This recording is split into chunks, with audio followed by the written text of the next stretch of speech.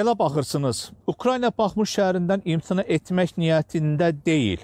Bu bəyanatla Ukrayna prezidenti Volodimir Zelenski çıxış edib və bildirib ki, Rusiyanın Baxmut şəhərini ələ keçirməsi Donetsk vilayətinin digər şəhərlərini asanlıqla işğalına səbəb ola bilər və bunu Ukrayna hərbiçiləri anlayır və ona görə də Baxmutu çox güclü şəkildə müdafiə edir və Baxmutun hər tini uğrunda ağır döyüşlər e, davam edir və onu da e, qeyd edək ki, hazırda hadisə yerində olan Şərq qoşunları qüvvələrinin komandanı general polkovnik Sırski e, bu dəqiqələrdə açıqlama verdi ki, hazırda orada mövcud olan komandirlərlə e, görüş keçirib və onların məruzələrini dinləyibdir.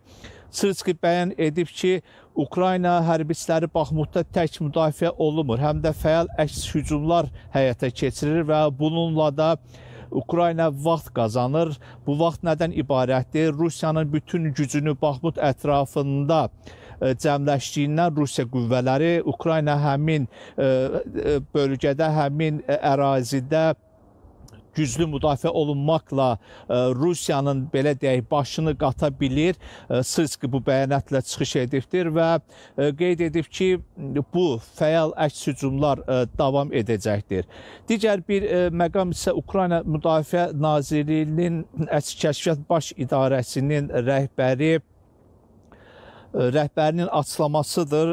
Demək, Budanov, Kiril Budanovun verdiyi məlumata görə hazırda Ukrayna hərbiçiləri son əhəmiyyətli döyüşlərə hazır hazırlaşır. Bu isə o deməkdir ki, yaxın vaxtlarda onun bildirdiyinə görə yaxın vaxtlarda Ukrayna tarixi əhəmiyyətli əks hücumlara başlayacaq. Düzdür, Budanov bunun tarixini sirr olaraq saxlayıb açıqlamayıbdır, lakin bildirib ki, e, qərb e, tərəfdaşlarının Ukraynaya verdiyi silahların həcmindən asılı olmayaraq mütləq şəkildə Ukrayna e, əhəmiyyətli əks hücumlara başlayacaqdır və bildirib ki, yaxın zamanlarda bu baş verəcək və bunun şahidi olacaqsınız.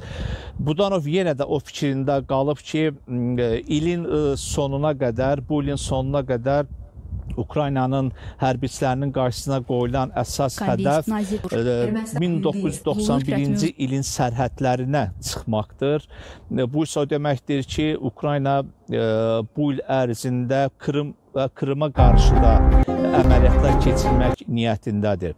Ukrayna Silahlı Qüvvələrinin sutqalıq məlumatına görə son sutqada Rusiya Silahlı Qüvvələrinin 600 canlı qüvvəsi məhv edilibdir və onlarla texnikaları sıradan çıxarılıbdır və